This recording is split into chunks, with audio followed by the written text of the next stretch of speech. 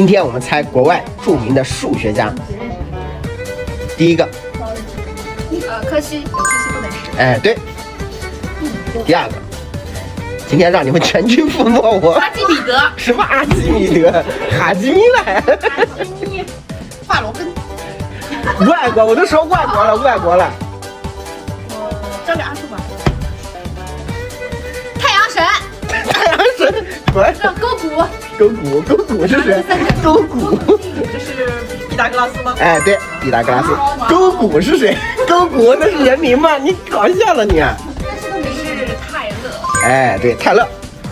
这个你不认识，真的是挨揍。天才的数学家。天才。这是多少科学家心中的偶像？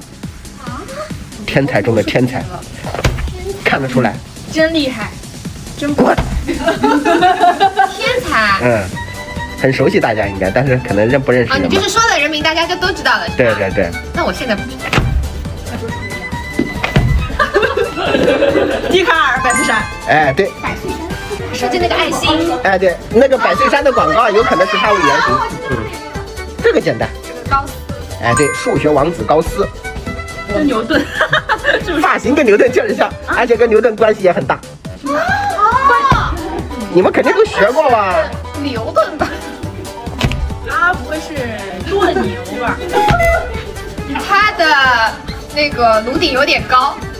这都是杨顿，这都是没修过微积分的人，我天！莱布尼茨，哎，对，他跟牛顿的牛顿莱布尼茨公式。对。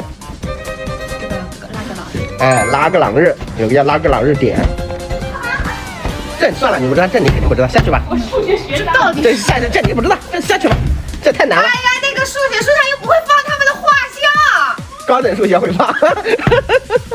还跑。罗尔。哎，对，罗尔。这个我知道呀，这你知道啊？哥洛必达，他问他师傅：“我努力买了这个法则。”啊，对，他是理科生呀，这是牛顿。终于让你答对了。哈基米，哈基米。哦哦哦，欧欧基哦，欧几里得。哎，对，这是欧几里得。